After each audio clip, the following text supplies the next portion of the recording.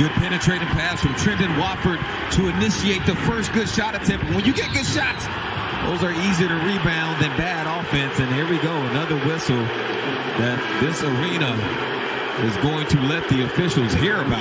And again, they're peeling Olynyk off the floor. Who put him there? Himself.